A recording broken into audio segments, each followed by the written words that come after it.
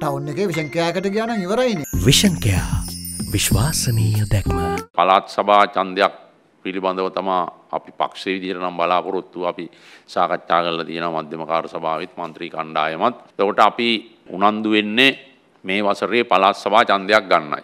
මැතිවරණ කොන්සාරිස්තුමා එක්කත් මම කතා කරලා තිබෙනවා. ඒ නිසා මැතිවරණ කොන්සාරිස්තුමත් මම රජයේ විදිහට නීතිපතිතුමාටත් උපදෙස් දෙන්නේ පළාත් සභා මැතිවරණයක් පැවැත්වීම සම්බන්ධයෙන් සකස් කළ යුතු වටපිටාව සකස් කිරීමයි. ඒ සඳහා මම සම්පූර්ණ මගේ කැපවීමෙන් මම කටයුතු කරා. මොකද පළාත් සභා මේ විදිහට මහජන නියෝජිතයින් නොමැතිව තියන්න පුළුවන්කමක් නැහැ.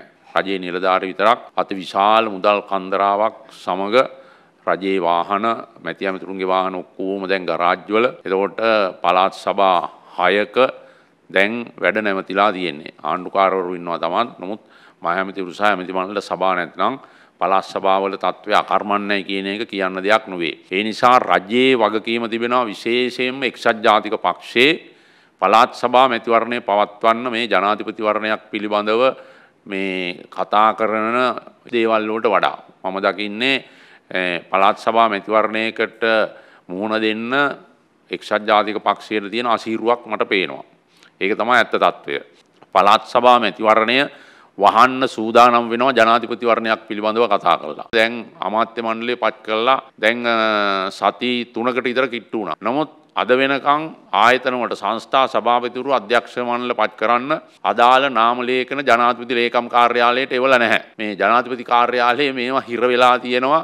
මේ ඒක නිසා ආයතනවල වැඩ ක්‍රියාත්මක වෙන්නේ නැහැ කියලා. ජනාධිපති කාර්යාලයට ඇවිල්ලා නැහැ. ජනාධිපති කාර්යාලයට ආපුවත් අග්‍රාමාත්‍ය කාර්යාලයට අරන් ගිහින් තියෙනවා. මෙතන එක ෆයිල් එකක්වත් නැහැ. ඒ නිසා අග්‍රාමාත්‍ය කාර්යාලය තමයි මේ වගකීම ගන්න ඕන. සංස්ථා සභාපතිවරු සහ අධ්‍යක්ෂක මණ්ඩල සහ ආයතන ප්‍රධානීන් පත් නොකිරීමේ ප්‍රමාදය පිළිබඳව ජනාධිපති ලේකම් කාර්යාලය තුළ කිසිම ලේඛනයක් නැත. ආයතනවල ප්‍රධානීන් පත් කිරීමේ වගකීම ප්‍රමාද වෙලා තියෙන්නේ ජනාධිපති ලේකම් කාර්යාලයෙන් නෙවෙන බව මම විශේෂයෙන් සඳහන් කරන්නට ඕන. ඇමතිවරු එවන්න ඕන අග්‍රාමාත්‍ය කාර්යාලය සිය අධීක්ෂණය අවසන් කලා නිර්දේශය අපිට එවන්න ඕන. ග්‍රාමාත්‍ය කාර්යාලයේ නිලධාරින් දෙන්නෙකුත් ජනාධිපති ලේකම් කාර්යාලය නිලධාරීන් තුන් දෙනෙකුවෙත් සමන්විත පස් දෙනෙකුවේ කමිටුවකින් තමයි ඒ පත් කිරීම අනුමත කරන්නේ. ඒට එහා කරන පත්වීම් කිසිවක් අපි අනුමත කරන්නේ නැහැ. ඒ නිසා මේ තත්ත්වය අපි පැහැදිලි කරගන්නට ඕන පවතින දේශපාලන වාතාවරණය තුළ බොහෝ වෙලාවට ජනාධිපති ලේකම් කාර්යාලය අප්‍රසාදයට පත් කරන්න